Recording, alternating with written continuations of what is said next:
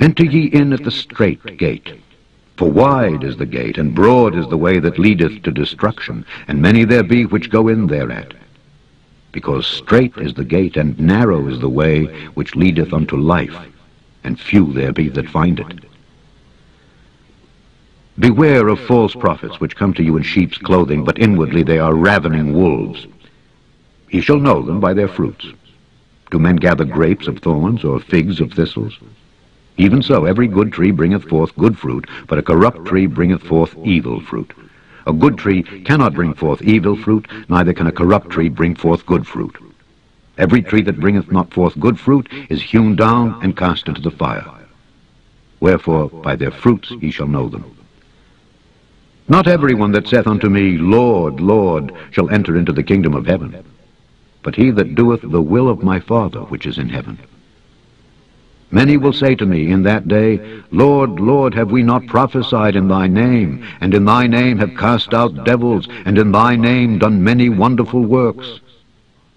And then will I profess unto them, I never knew you. Depart from me, ye that work iniquity. Therefore, whosoever heareth these sayings of mine and doeth them, I will liken him unto a wise man, which built his house upon a rock. And the rain descended, and the floods came, and the winds blew and beat upon that house, and it fell not, for it was founded upon a rock.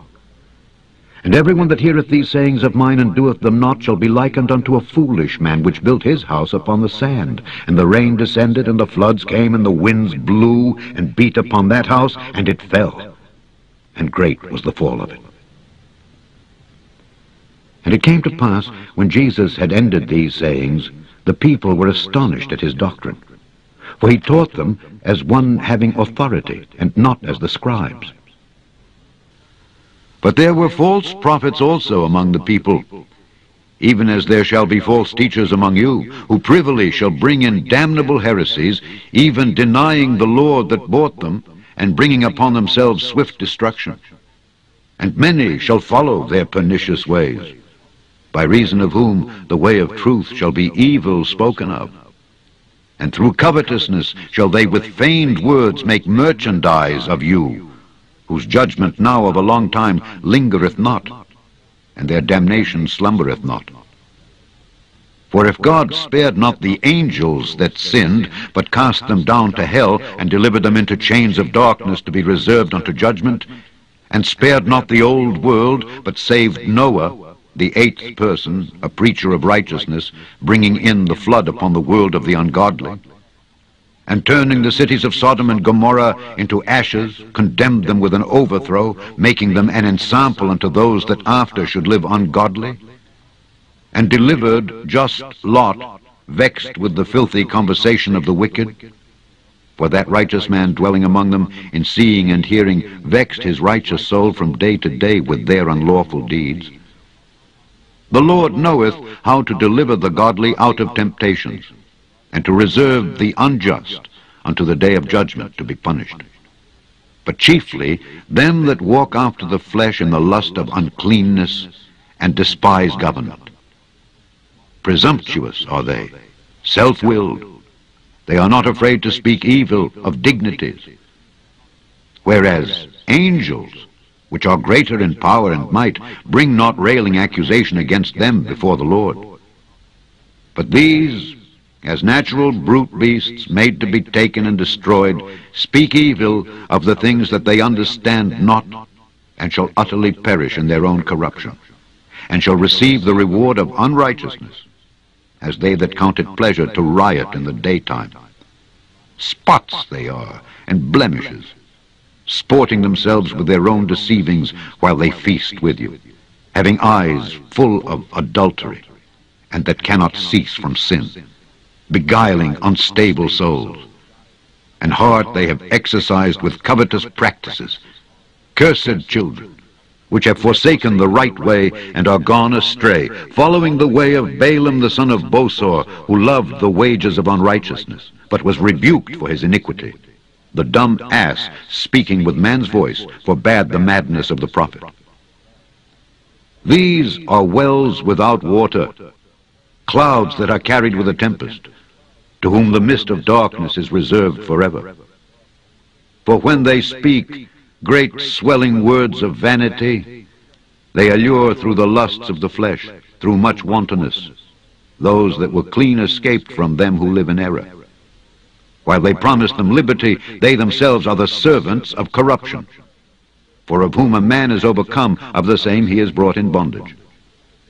For if after they have escaped the pollutions of the world through the knowledge of the Lord and Savior Jesus Christ, they are again entangled therein and overcome, the latter end is worse with them than the beginning. For it had been better for them not to have known the way of righteousness than after they have known it to turn from the holy commandment delivered unto them. But it has happened unto them according to the true proverb.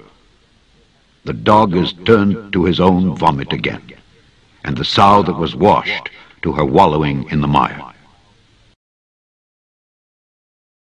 And the word of the Lord came unto me, saying, Son of man, prophesy against the shepherds of Israel. Prophesy, and say unto them, Thus saith the Lord God unto the shepherds. Woe be to the shepherds of Israel that do feed themselves. Should not the shepherds feed the flocks? Ye eat the fat, and ye clothe you with the wool.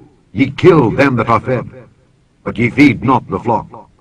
The diseased have ye not strengthened, neither have ye healed that which was sick, neither have ye bound up that which was broken, neither have ye brought again that which was driven away, neither have ye sought that which was lost.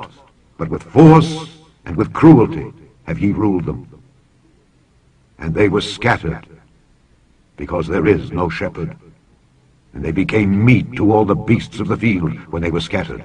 My sheep wandered through all the mountains and upon every high hill. Yea, my flock was scattered upon all the face of the earth, and none did search or seek after them. Therefore, ye shepherds, hear the word of the Lord. As I live, saith the Lord God, surely because my flock became a prey, and my flock became meat to every beast of the field, because there was no shepherd, neither did my shepherds search for my flock, but the shepherds fed themselves, and fed not my flock. Therefore, O ye shepherds, hear the word of the Lord. Thus saith the Lord God. Behold, I am against the shepherds, and I will require my flock at their hand, and cause them to cease from feeding the flock. Neither shall the shepherds feed themselves any more for I will deliver my flock from their mouth, that they may not be meat for them. For thus saith the Lord God, Behold, I, even I, will both search my sheep and seek them out. As a shepherd seeketh out his flock in the day that he is among his sheep that are scattered, so will I seek out my sheep, and will deliver them out of all places where they have been scattered in the cloudy and dark.